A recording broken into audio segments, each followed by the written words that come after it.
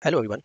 Today I will tell you how to merge graph. Suppose you have four different graphs. It can be six, it can be two, whatever the number, and you want to merge all of the graphs in a single window. How you can do this? So in order to merge all of these graphs, open all of the graphs in origin. For example, these graphs are now open, and then go to go to this graph option, choose merge graph to window, and then open dialog.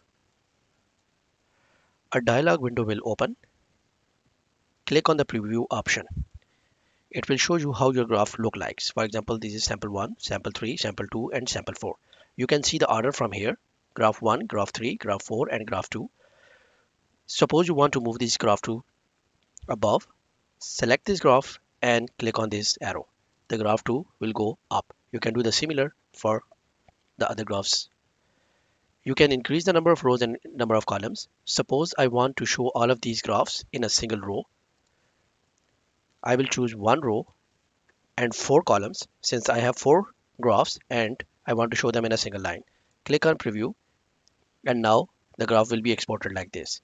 If you want to show all of the graphs in a single line, you can choose four rows and one column and you can click on this preview button. And this is how the graph will look like. Here I will make number of rows 2 and number of columns 2. Click on the preview button again. I am satisfied with the current order and then I will click OK. And all of the graphs are now exported to a single window. If I want to copy it, right click on the graph, choose copy and then copy graph as image. You can choose the resolution as per your requirement and you can also change the type of the graph. I am satisfied with PNG and 601 100 and then I will click on copy. The graph will be copied. Uh, once the graph is copied, you can paste them in your Word file. This is how you can merge a graph in one window.